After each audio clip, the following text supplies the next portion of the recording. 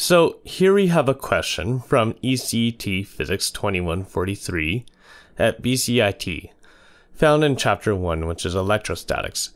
And it's actually one of my favorite questions from the term because it combines concepts from a few different chapters. It poses two identical pith balls with masses 0.525 kilograms, which I have drawn here and here, are suspended from light threads 28.0 centimeters long, which I have converted to 0.28 meters already here, and have equal charges.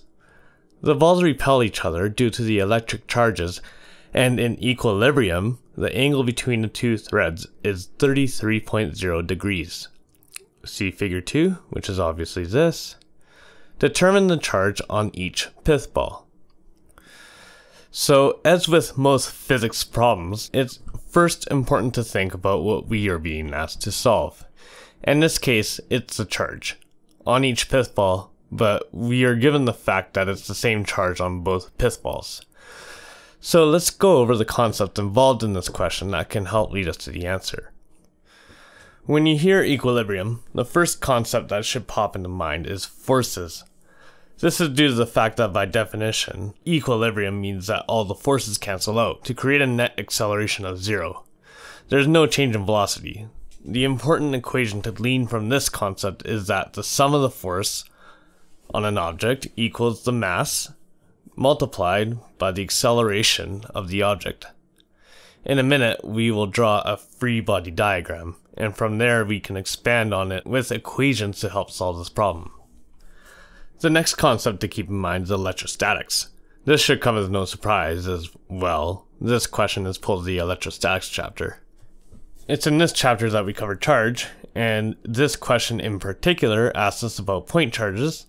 So from there, we can look at the formula sheet and pull out the equation F for force equals K for Coulomb's constant times charges Q sub 1 and Q sub 2 divided by the distance r squared, which if we look at our figure 2 here, it is the distance between the two balls. As noted previously, the charges are the same, so we can reduce this a bit to F equals k q squared over r squared. And we will be solving for this variable here. So now that we have all this, let us make our free body diagram from which we can derive how to properly arrange our force equations. As the charge and the mass are the same on each pith ball, the forces will be the same for both balls, so we can get away with drawing the forces for just one pith ball and solve from there. The first force we can draw will be the weight from gravity, which we will label W. The second will be the tension from the string, which is labeled T, which will go up at an angle of 16.5 degrees from the vertical as that is what 33 degrees divided by 2 is. I will draw dotted lines to dictate the T sub x and the T sub y components of the tension force. And lastly, we have our electrostatic force, which we will label F subscript Q. So now we have what we need to properly arrange and construct our force equations. From this diagram, it should be clear that this will be a two-dimensional force problem. And as mentioned earlier, another important piece of information given to us is that the forces are in equilibrium. So we can start off by writing out that the sum of the vertical forces equals zero. And with some space below, we will write that the sum of the horizontal forces also equals zero. So let's start off with the vertical force equation we can see that the two opposing forces keeping it in equilibrium are the vertical tension force and the weight.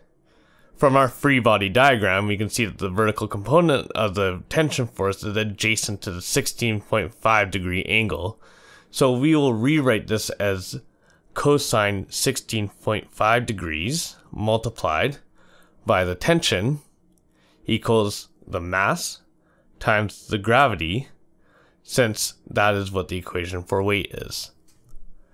Now, let's jump for a second to the horizontal force equation and see what we can do with that. As we can see with our free, free body diagram, the horizontal forces that cancel each other out will be the horizontal component of the tension force, and the electrostatic force. From here, we can rewrite this as sine 16.5 degrees multiplied by the tension equal to this business over here, which I will copy down, k times q squared divided by r squared. Now, we might be tempted to figure out what these tension forces are, but I actually think the easiest way to tackle this is just to look at the vertical force component and realize that we can isolate t here. And then we can do direct substitution from the vertical force equation to the horizontal part. So I will rewrite this vertical force equation. Tension equals mass times g divided by cosine 16.5 degrees. From here, we can substitute that into the horizontal equation. Let's do a little mental math here first. When we substitute the equation in, we will get sine 16.5 divided by cosine 16.5. So I'll just use a trig identity and we can just write tan 16.5 times mass times g equals k multiplied by q squared over r squared. Okay, so now, before we continue on and rearrange, let us take a step back and ask what do we know and what are we trying to figure out? So I'll scroll down to this list of variables that I've already written. We were given the mass for the pith balls of 0.525 kilograms. G, of course, is 9.81 meters per second squared. K is Coulomb's constant. We can look up and find out that it is 8.99 times 10 to the power 9 Newton meters squared over Coulomb squared. We don't know R yet, but we can figure that out by looking at figure 2 here. We could use cosine law, but I'd actually prefer to split this in the middle. And after which, we can just figure this side here and multiply by 2. And that will give us the total distance. So we'll just write 2 times sine 16.5 degrees times 0.280 meters to get a total of 0.159 meters and we will just write that here as well. We don't know Q yet, but that is what this question is asking for, and we have everything we need to rearrange this equation, and then we can just fill in the variables. So we'll just write now that tan 16.5 degrees times mass times g times r squared, which we brought over from the other side here, divided by Coulomb's constant k, which we have also brought over from the other side, equals q squared. We can square root both sides here. I'll just cross out the exponent 2. And now we can just plug in the variables.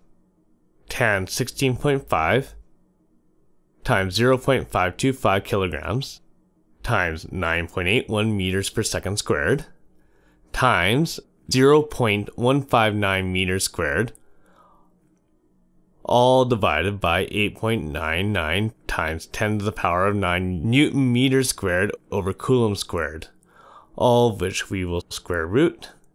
And if you put this in a calculator, you'll get the correct answer with three significant figures of 2.07 microcoulombs.